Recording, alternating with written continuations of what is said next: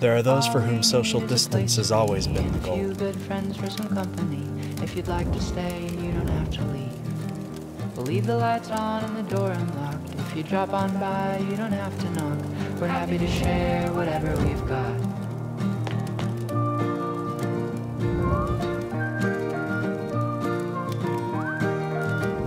Trust Canyon to keep the good stuff cold when you're miles from anyone.